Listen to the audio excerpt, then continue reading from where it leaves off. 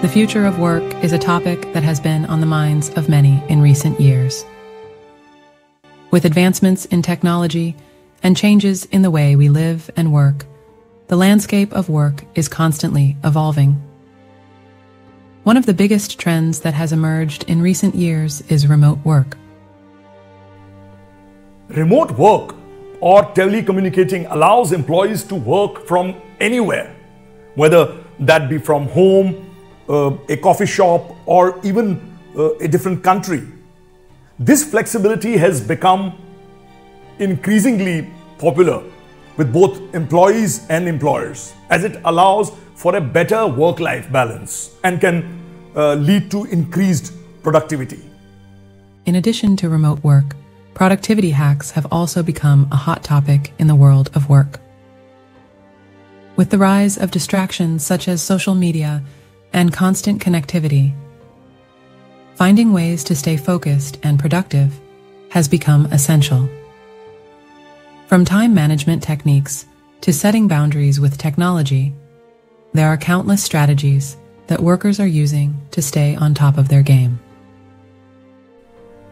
Another trend that has been gaining momentum is the rise of the gig economy. The gig economy refers to a labor market characterized by short term contracts or freelance work as opposed to traditional full time employment. This shift has been driven by a desire for flexibility and autonomy, as well as the rise of uh, platforms such as Uber, TaskRabbit, and Upwork that connect workers with gigs. While these trends offer exciting opportunities for workers, they also come with challenges. Remote work, for example, can lead to feelings of isolation and difficulty in separating work from personal life. Productivity hacks, while helpful, can sometimes feel like a band aid solution to deeper issues of burnout and overwork. And the gig economy, while providing flexibility, can also lead to instability and a lack of benefits for workers. As we look to the future work, it is clear that finding a balance between these trends will be key. Employers will need to find ways to support remote workers and ensure that they feel connected and engaged. Workers will need to prioritize self care and set boundaries to avoid burnout.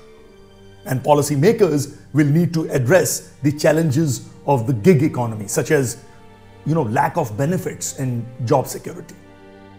Ultimately, the future of work is likely to be a mix of remote work, productivity hacks, and the gig economy. By embracing these trends while also addressing their challenges, we can create a work environment that is both flexible and sustainable for workers. The key will be finding ways to harness the benefits of these trends while also mitigating their drawbacks. Only time will tell what the future of work will look like. But one thing is certain change is on the horizon